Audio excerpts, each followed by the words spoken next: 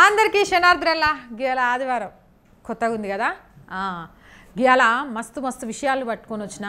మోదీ వస్తే ఆత్మాహుతికైనా సిద్ధం తగ్గేదేలే అంటారట ఆత్మాహుతి దాడులు మోదీని టార్గెట్గా చేస్తూ బీజేపీ ఆఫీస్కి లెటర్ రాసిండ్రట. అంటే మోదీ మీద హత్యాయత్నానికి కుట్ర జరుగుతోందనే విషయం బట్టబయలైందట. ఇక దీంతో పాటు నిరుద్యోగ మార్చికి సంబంధించి లక్షకు తగ్గేదేలే అని బండి సంజయ్ చెప్తే విజయశాంతక్క ఈటల రాజేందరు అట్టాగే రేవంత్ అన్నకు మధ్య సయోధ్య కుదిర్చే ప్రయత్నం చేస్తుందట. అరే ప్రభుత్వం మీద మీకు మీరు కొట్లాడాలి కానీ మీ ఇద్దరు కొట్లాడుకుంటే ఎట్లా అని చెప్తుందట. ప్రీతికి సంబంధించి ఆత్మహత్యపై ఇంకా వాళ్ళ నాన్నకి అనుమానాలు ఉన్నాయట ఇలాంటి వార్తలన్నింటినీ పట్టుకొని వచ్చిన ఫస్ట్ నరేంద్ర మోదీ సార్ గురించి చదువుదాం.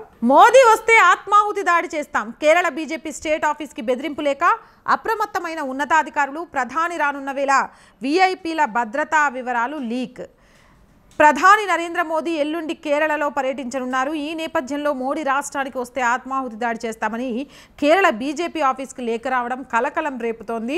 ఎర్నాకుళం వాసి జోసెఫ్ జాన్ నడుముత్తమిల్ పేరుతో ఈ లెటర్ వచ్చింది. ఎల్లుండి నుంచి రెండు రోజుల పాటు కేరళలో ప్రధాని పర్యటించనున్నారు. ఈ సందర్భంగా వివిధ అభివృద్ధి కార్యక్రమాలకు ఆయన శంకుస్థాపన చేయనున్నారు. ఈ క్రమంలో ఆత్మాహుతి దాడులకు పాల్పడతామని బెదిరింపు లేఖ రావడం సంచలనంగా మారింది. నిజానికి వారం రోజుల క్రితమే ఈ లేఖ బీజేపీ ఆఫీస్కి వచ్చింది. ఆ లేఖపై ఆ పార్టీ నాయకులు పోలీస్ స్టేషన్లో ఫిర్యాదు చేశారు. ఈ లేఖపై రాష్ట్ర పోలీసులు నిఘా సంస్థలు అప్రమత్తమయ్యాయి. ఈ సందేశాన్ని పంపించింది ఎవరు? ఎక్కడి నుంచి పంపించారనే దానిపై ఆరా తీస్తున్నారు. ఇదిలా ఉంటే మోడీ కేరళ పర్యటనకు సంబంధించి భద్రతా ఉల్లంఘనలు వెలుగులోకి రావడం హాట్ టాపిక్గా మారింది.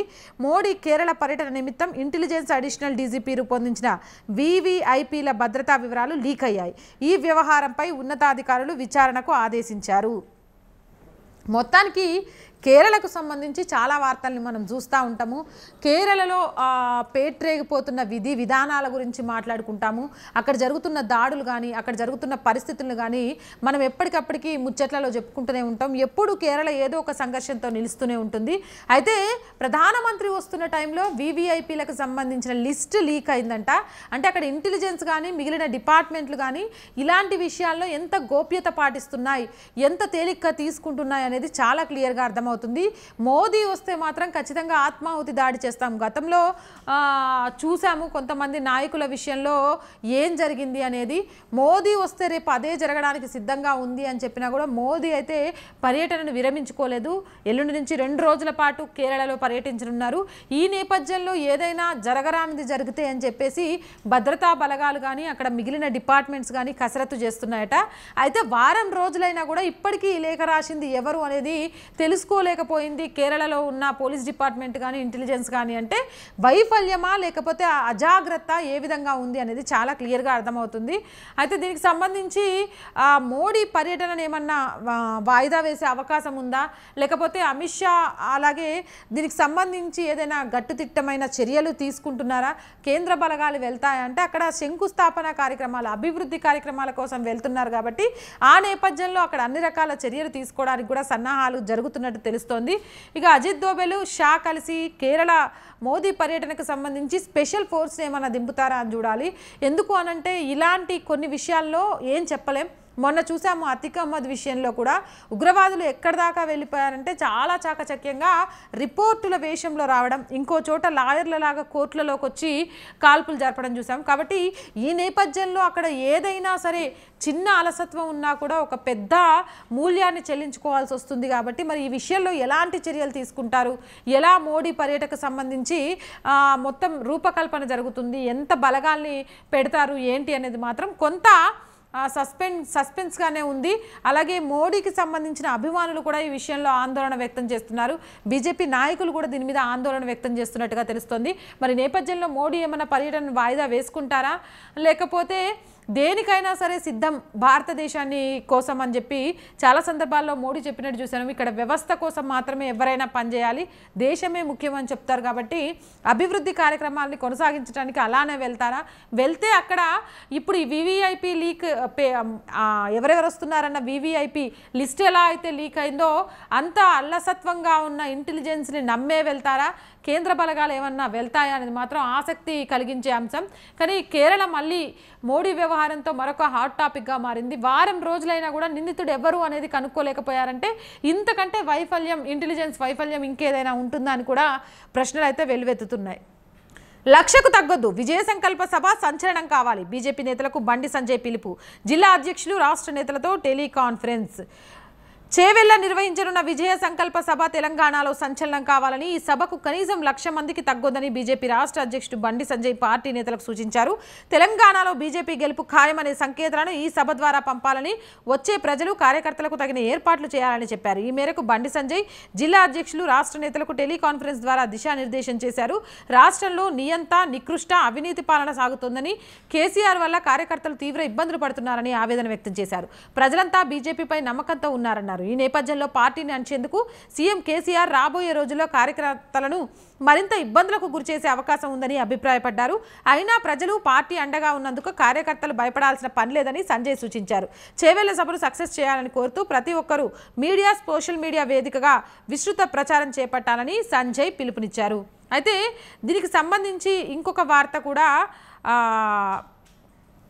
వార్తాపత్రికలో వచ్చింది.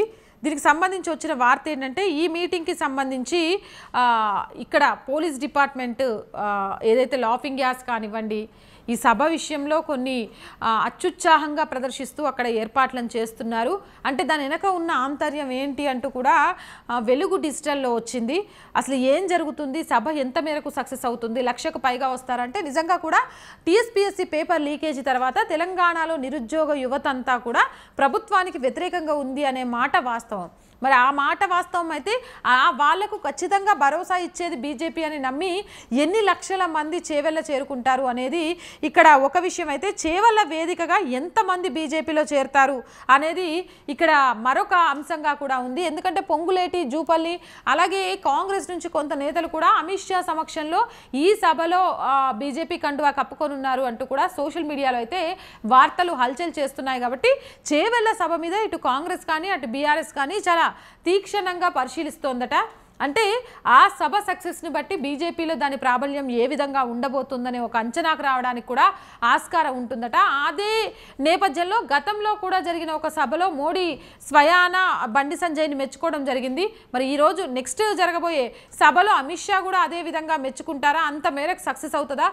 ఎందుకంటే ఎన్నికల నగర మోగి ఎన్నికల దగ్గర పడుతున్న త- తరుణంలో బీ తెలంగాణలో మేమే ఉన్నాము మా పార్టీయే ఉంది అనిపించుకోవడానికి ప్రతి పార్టీ నేతలు కూడా మాయాజాలం చేయడంతో పాటు ప్రజల మీద అనేక కోరికలు వెదజల్లిస్తున్నారు. అంటే వాళ్ళకి ఏం కావాలి ఏం చేయాలి అనే ప్రతిపాదనలు ప్రజల ముందు ఉంచుతున్నారు. ఈ నేపథ్యంలో ఇప్పటికే నోటిఫికేషన్లు ఇస్తున్నామని టీఎస్పీఎస్సికి సంబంధించి స్పెషల్ ఆఫీసర్స్ నియమిస్తున్నామని చెప్తూ వస్తున్న రాష్ట్ర ప్రభుత్వం ఖచ్చితంగా ఆ సభను సక్సెస్ అవ్వనిస్తుందా? ఎందుకంటే లాఫింగ్ గ్యాస్ కానివ్వండి లేకపోతే అక్కడ ఏ ఏర్పాటు చేసిన కొన్ని డిపార్ట్మెంట్స్ని బట్టి అక్కడ ఏదో ఉధృతంగా జరగబోతుందా అనే ఒక భయాందోళనను గురి చేసే పరిస్థితులను కూడా ఈరోజు అధికార పార్టీ అయితే కలిగిస్తుంది. అలాగే కాంగ్రెస్ కూడా దీనికి సంబంధించి నల్గొండలో సభ పెట్టాల్సి ఉండగా అది పోస్ట్ పోన్ అయింది. నెక్స్ట్ మంత్ ఇక్కడ ప్రియాంక గాంధీ రాబోతోంది. అంటే ప్రియాంక గాంధీ వచ్చేలోపే ఇప్పుడు బీజేపీకి ఎంతమంది అక్కడ నిరుద్యోగులు అయితే వస్తారో ఎంతమంది వచ్చి ఆ సభను సక్సెస్ చేస్తారో దానికి రెండింతలు ప్రియాంక గాంధీ సభకు తీసుకొచ్చే విధంగా ఎలా ఏర్పాట్లు చేయాలి ఏం చేయాలి అనేది కూడా ఖచ్చితంగా రేపు బీజేపీ సభ మీదే ఆధారపడి ఉంటుంది అనేది ఒకవైపు మాట అయితే అసలు ఏ పార్టీ నేతలు అమిత్ షా సమక్షంలో కండువా కప్పుకోబోతున్నారు? చేరికల కమిటీ నుంచి ఈటల రాజేందర్ అయితే ఇప్పటికి వరకు ఎలాంటి లీకేజీలు లేకపోయినప్పటికీ సోషల్ మీడియాలో కొన్ని వార్తలు అయితే చాలా క్లియర్గా వినిపిస్తున్నాయి. అతి ముఖ్యమైన కీలక నేతలు అమిత్ షా సమక్షంలో కండుగా కండువా కప్పుకోబోతున్నారంటూ ఒక వార్త వస్తుంటే అమిత్ షాకి ఏం సమాధానం చెప్పాలో అర్థం కావట్లేదు. ఎందుకంటే చేరికల విషయంలో బీజేపీ కొంత అటు ఇటుగా ఉన్న నేపథ్యంలో ఎలాంటి సమాధానం చెప్పాలో తెలియని పరిస్థితిలో ఉంది అని ఇంకో వార్తాపత్రికలో వస్తోంది. మరి సభలో ఏం జరుగుతుంది అంటే కూడా మనందరం వెయిట్ చేయాల్సిందే. దమ్ముంటే నిరూపించు. ఈటల రాజేందర్పై పాల్వాయి శ్రవంతి ఫైర్. మునగోడు ఉప ఎన్నిక అయిపోయిన ఆరు నెలలకు నిద్రలేచిన ఈటల రాజేందర్ బీఆర్ఎస్ నుంచి కాంగ్రెస్ డబ్బులు తీసుకుందని ఆరోపించడం హాస్యాస్పదం. అని ఏఐసీసీ సభ్యురాలు పాల్వాయి శ్రవంతి అన్నారు. శనివారం యాదాద్రి జిల్లా చౌటుపల్లో ఆమె మీడియాతో మాట్లాడారు. ఈటలకు దమ్ముంటే సాయంత్రం భాగ్యలక్ష్మి ఆలయం వద్దకు వచ్చి ప్రమాణం చేయాలని సవాల్ చేశారు. ఇప్పటికే రేవంత్ ఈటలకు సవాల్ విసిరారని సాక్ష్యాధారాలతో రాజేందర్ రావాలని డిమాండ్ చేశారు. బట్ట కాల్చి మీద వేయడం బీజేపీకి అలవాటేనని మండిపడ్డారు. వారి చేతగానితనాన్ని కప్పిపుచ్చుకునేందుకు ఇలాంటి ఆరోపణలు చేస్తున్నారని దుయ్యపట్టారు. మొత్తానికి దీనికి సంబంధించి పాల్వాయి శ్రమంతి కూడా స్పందించిందట. ఇప్పుడు చేయడం ఏంటి? ఆరు నెలలకు అని. ఇక్కడ ఆశ్చర్యపోవాల్సింది ఏంటంటే ఏదో అంటారు కదా ఏం జరిగినా మేమున్నాం అందులో అని ఏలు పెట్టుకోవడానికి బయటకు వస్తూ ఉంటారు కొంతమంది. అట్లా ఇప్పుడు మన ఎమ్మెల్సీ పాడి కౌశిక్ రెడ్డి బయటకు వచ్చిందట. ఏ మునగోడులో టీఆర్ఎస్ కాంగ్రెస్ ఇచ్చుకోవడం కాదు.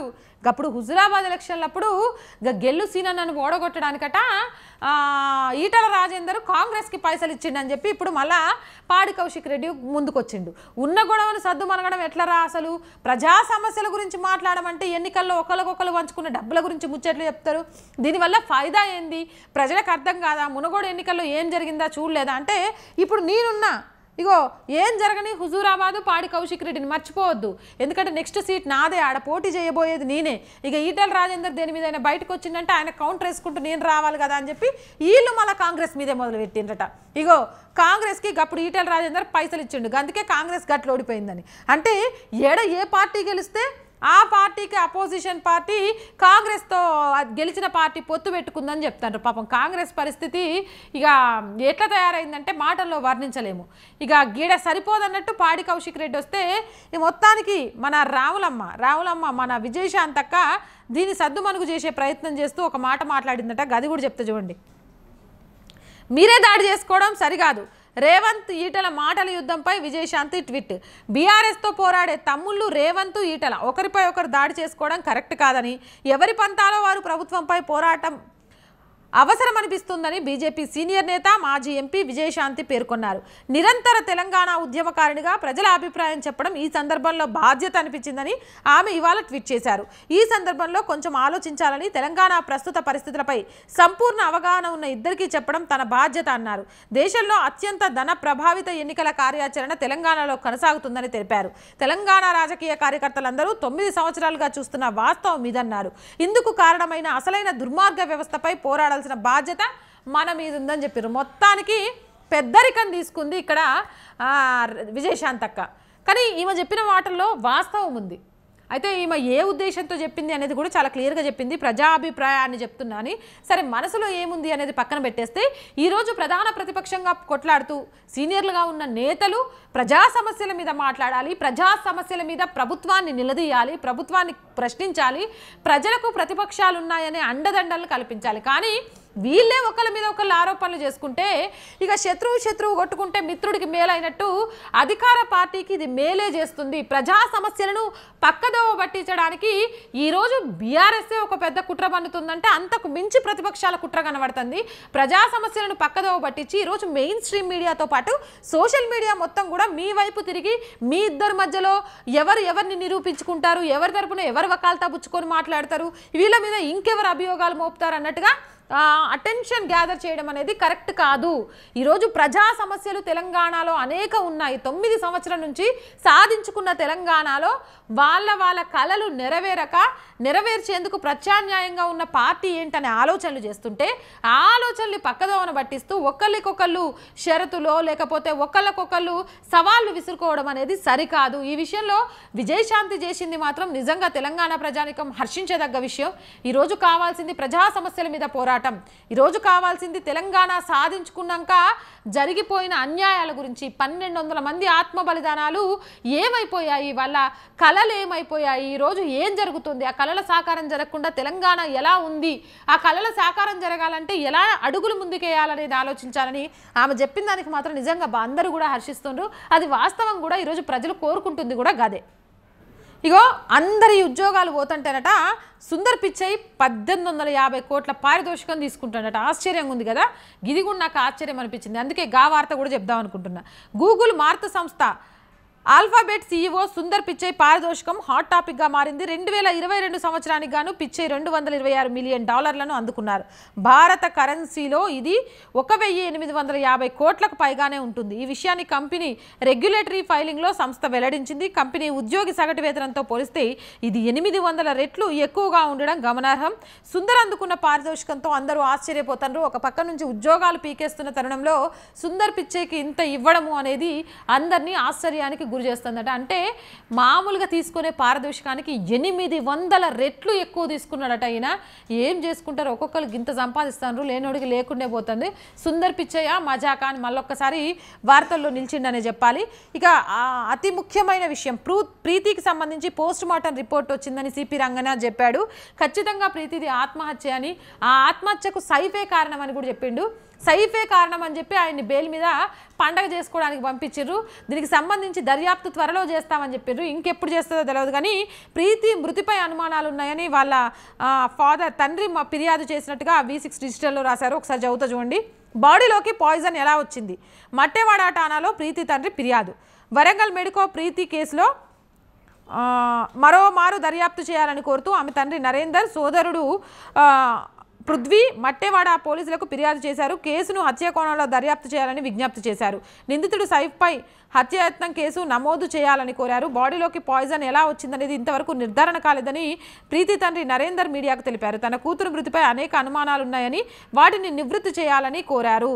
మొత్తానికి ప్రీతి ఆత్మహత్యకు సంబంధించి ఏం జరిగింది ఏంటి అనేది తెలియదులే కానీ అది ఆత్మహత్య దాని పాయిజన్ ఇంజెక్షన్ సిరెంజ్ దొరికిందని సీ కాకపోతే పోస్ట్ మార్టం రిపోర్ట్ అనేది ఇప్పటివరకు వాళ్ళ తండ్రికి కూడా చూపించలేదనే విషయాన్ని కూడా చెప్పారు. మరి సిపి రంగనాథ్ ఎట్టయితే అర్ధరాత్రి పోయి ఇట అదేంటి బండి సంజయ్ సార్ని అరెస్ట్ చేసిండో ఒక ఆడపిల్ల ఆత్మహత్యకు కారణమైన ఉండి కూడా అర్ధరాత్రి పర్మిషన్ తీసుకొని పోయి తీసుకొచ్చి ఎందుకు చేసినవి ఏందని విచారణ చేసి జైల్లో వేసి నాన్ బెయిలబుల్ కేసు పెట్టి బయటికి రాకుండా చేస్తాడా?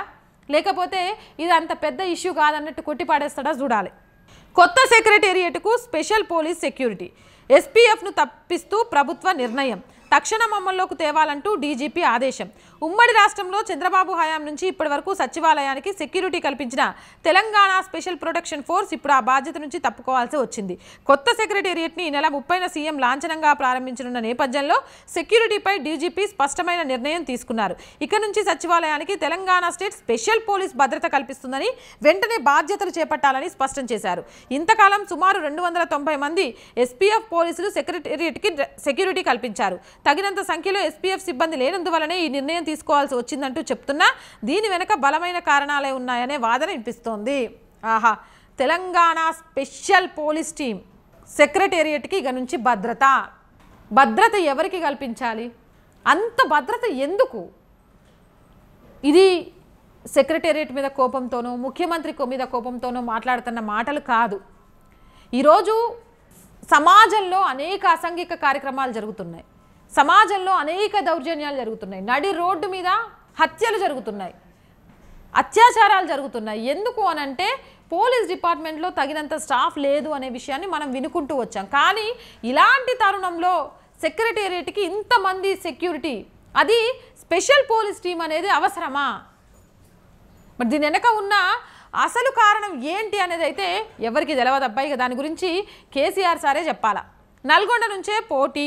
ఉత్తమ్ కంటే నాకే మెజారిటీ. ఎంపీ కోమటిరెడ్డి వెంకటరెడ్డి సంచలన వ్యాఖ్యలు. రేవంత్కు రోషం ఎందుకు? ఈటల వ్యాఖ్యలు నిజం కాదా? ఇగో నా సావుకు సీఐ కారణం. నా చావుకు సెంట్రల్ ఇంటెలిజెన్స్ డిపార్ట్మెంట్లో పనిచేస్తున్న సిఐ గోపాలకృష్ణ కారణం అంటూ కరీంనగర్ జిల్లా చొప్పదండికి చెందిన బి శ్యామ్ అలియా శాంబయ్య అనే వ్యక్తి ఆత్మహత్య చేసుకున్నారు. భూమి విషయంలో సిఐ గోపీకృష్ణ తనను బెదిరించినట్టు సూసైడ్ నోట్ రాసి ఉరేసుకున్నాడు ముప్పై లక్షల భూమిని కొనుగోలు చేసిన గోపాలకృష్ణ ఎనిమిది నెలల్లో రెట్టింపు డిమాండ్ చేసి టార్చర్ పెట్టినట్టు సూసైడ్ నోట్లో ఆరోపించారు. అసభ్య పదజాలంతో తిట్టడంతో మనస్తాపంతో ఆత్మహత్య చేసుకుంటున్నట్టు పేర్కొన్నారు. తిడితే రికార్డులుంటాయి బెదిరిస్తే ప్రూఫ్లు ఉంటాయి తీసుకెళ్ళి కేసు పెట్టొచ్చు. కేసు పెట్టి తప్పు చేసినోడికి శిక్ష విధించేలాగా చేయొచ్చు. ఆత్మహత్య చేసుకోవడం ఏంది? ఎవడో బెదిరిస్తే తీసుకునే ప్రాణమా మనది? ఎవడి కోసమో మనం పుట్టినమా? ఎవడి కోసమో మనం పెరిగినమా? ఆడెవడో బెదిరించిండని మనం ఆత్మహత్య చేసుకుంటామా? ఇప్పుడు నీ కుటుంబాన్ని ఎవరు చూసుకుంటారన్నా? అసలు ఇవన్నీ ఏం ఆలోచనలు? అసలు ఈ ఆలోచనలకు అర్థం ఉందా? ఎవడి కోసమో మనం పుట్టి పెరిగి మన అమ్మయ్య మనల్ని కన్నారా? ఎవడి కోసమో మనం పానం తీసుకోనికి? కేసు పెడితే అయిపోయే పనికి కూడా మనస్తాపం చెంది ఆత్మహత్య చేసుకునే స్థితికి వస్తున్నామంటే ఎంత డెలికేట్గా మారిపోతున్నాం మనం అనేది ఆలోచించాలా? కర్ణాటక తెలంగాణలో కమల వికాసమే. ఇవే సౌత్ ఇండియాలో బీజేపీకి ఎంట్రీ పాయింట్లు. జేడీఎస్కి ఓటు వేస్తే కాంగ్రెస్కి వేసినట్లే. కర్ణాటక రౌండ్ టేబుల్ రెండు వేల ఇరవై మూడు ప్రోగ్రాంలో అమిత్ షా. ఇక రాబోయే ఎన్నికల్లో ప్రజలు పాలను పాలుగా నీళ్ళను నీళ్ళుగా వేరు చేయబోతున్నారని అమిత్ షా చెప్పారు. పెద్ద సంఖ్యలో సిట్టింగ్ ఎమ్మెల్యేలకు టికెట్లు నిరాకరించడం వెనుక గుజరాత్ మోడల్ ఉందా అనే ప్రశ్నకు బదిలిస్తూ బీజేపీ మార్పు అభివృద్ధి మోడల్ని విశ్వసిస్తుంది తప్ప గుజరాత్ మోడల్ మరో మోడల్ కాదన్నారు. ఇతర రాజకీయ పార్టీలకు భిన్నంగా మా పార్టీకి సిద్ధాంతాలు ఉన్నాయని వెల్లడించారు. ప్రతిఫలం ఆశించకుండా తమ జీవితాలను ఏళ్ళ తరబడి సేవకు అంకితం చేసిన నిస్వార్థ కార్యకర్తల సైన్యం తమ పార్టీ సొంతమన్నారు. బీజేపీ రెండు స్థానాల నుంచి మూడు వందల స్థానాలకు పైగా చేరుకోవడం పార్టీ కార్యకర్తల అంకిత భావమనికి నిదర్శనమన్నారు. నిదర్శనం అన్నారు మాజీ సీఎం జగదీష్ షెట్టర్ బీజేపీని వీడి కాంగ్రెస్లో చేరినంత మాత్రాన మాకు నష్టం ఏమీ లేదని స్పష్టం చేశారు. మొత్తానికి కర్ణాటక తెలంగాణతోనే సౌత్ మొత్తం బీజేపీ పాగా వేయడానికి ప్లాన్ చేసినట్టుగా ఈ రెండు చోట్ల కొట్టినాము అంటే ఖచ్చితంగా కూడా సౌత్లో కూడా బీజేపీ రావడానికి ఆస్కారం ఉందన్నట్టుగా అమిత్ షా మాట్లాడిన మాటలు వినిపించినాయి. అది ఇక్కడ మనం ఒకటి గమనించాల్సింది ఏంటి అంటే సిట్టింగ్ ఎమ్మెల్యేలకు సీట్ ఇవ్వలేదనే ఒక ఆరోపణ కర్ణాటకలో ఉంది. అయితే అదే సిట్టింగ్ ఎమ్మెల్యేలకు సంబంధించి కర్ణాటక ప్రజలు అవినీతి పరులు అన్న ఆరోపణ కూడా ఉంది. మరి అవినీతి పరులైన వాళ్ళకే సీట్లు ఇవ్వడం అనేది పార్టీ తీసుకోవాల్సిన మంచి నిర్ణయమా చెడ్డ నిర్ణయమా అనేది ప్రజలు ఆలోచించగలిగితే అసలు ఏంటి గోప్యం అనేది అర్థమవుతుంది. ఇక్కడ గుజరాత్ మోడలో ఇంకొక మోడలో కాదు అవినీతి ఆరోపణలు ఉన్నాయి కాబట్టి వాళ్ళను పక్కన పెట్టేసి కొత్త వాళ్ళకు అవకాశం ఇవ్వడం జరిగింది అని చెప్తున్నారు. మరి ఈ మాటల్ని కర్ణాటక ప్రజలు విస్ అర్థం చేసుకుంటారా విస్మరిస్తారా అనేది పక్కన పెడితే కర్ణాటకలో పాగాయడానికి ఈరోజు ప్రధాన పార్టీలన్నీ అంటే అటు బీజేపీ కాంగ్రెస్ అలాగే జేడీఎస్ కూడా చాలా క్లియర్ కసరత్తు చేస్తుందనే విషయం అర్థమవుతుంది. అయితే కుమారస్వామికి కేసీఆర్కి చెడిందనే వార్తలు కూడా వస్తున్నాయి. ఎందుకంటే ఇప్పటి వరకు కూడా ఎలాంటి సహాయం కేసీఆర్ కుమారస్వామికి అందిస్తున్నట్టుగా కూడా బయటికి రాలే.